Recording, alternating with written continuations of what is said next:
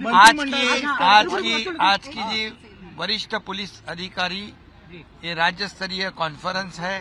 ये बहुत ही महत्वपूर्ण है। कानून व्यवस्था बनाए रखने में बहुत ही अहमियत वाली है।